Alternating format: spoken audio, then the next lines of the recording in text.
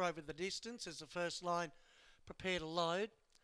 And then you've got $8 for both Little Snuffles and also Riders Rage, who now firms into 750 back at $8 again, 850 Euroa Flex. The outsider at spring here at $11. I don't think it's the worst in the race. Hasn't been far away its last two fourths from its three starts. As the second line now move in. But Chide running second on debut in 25 and 53 was narrowly beaten.